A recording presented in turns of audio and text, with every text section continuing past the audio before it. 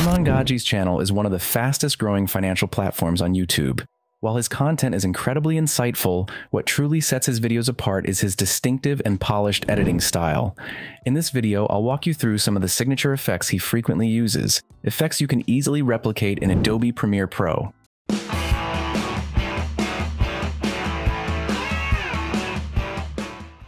One of his most recognizable elements is the animated grid background, which adds a modern and dynamic feel to his videos.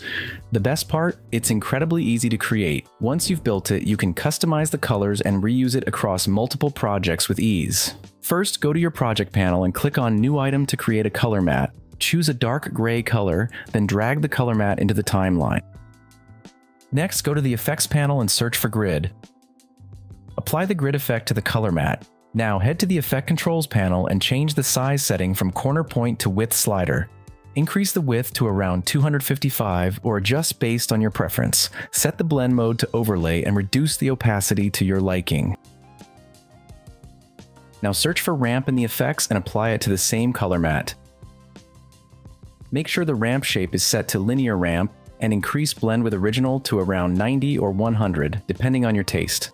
If you want to change the white color to another shade, go ahead and do it. Let's switch it to red, for example. You can also adjust the ramp's position to create a different style. Play around with the blend with original value for more refined results.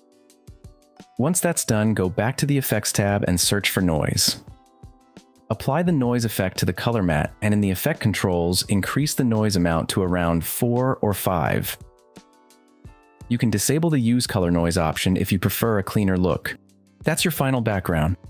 Iman uses several animations in his videos, and recreating each one manually would take a lot of time. That's where Envato Elements becomes a game changer. It provides an extensive collection of high-quality templates and video assets for every major editing software. With just one subscription, you'll unlock unlimited downloads of templates, ranging from transitions and openers to promos, titles, and much more. Envato Elements also provides a wide range of software for selecting templates. You'll also gain access to stock footage, music, sound effects, graphics, and other creative resources. Just download the template you like, drag and drop it into your project, and you're good to go. Save your time, effort, and money. So what are you waiting for? Click the link in the description to start your 7-day free trial of Envato Elements today. Another popular effect used by Iman is the wave distortion during animations. To create this, start by making a new adjustment layer and drag it onto your timeline.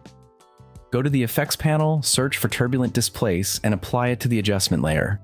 In the effect controls, change the amount to 10 and the size to 40 or 50 based on your preference. Now create a keyframe for evolution at the start of your animation and another at the end. Increase the evolution value to control the intensity of the wave effect. That's it, the wave animation is now ready to use. Iman often pairs this with a cinematic low frame rate, to achieve that look, search for posterize time in the effects panel and apply it to the same adjustment layer. In the effect controls, change the frame rate to around 10 or 15, depending on how choppy or smooth you want the animation to feel. And just like that, you've recreated Iman Gadzhi's iconic animation style. That wraps up this tutorial. If you're interested in a more detailed guide on animating a character in Iman's style, drop a comment below. I'd love to hear your thoughts. Thanks for tuning in, and I'll catch you in the next video.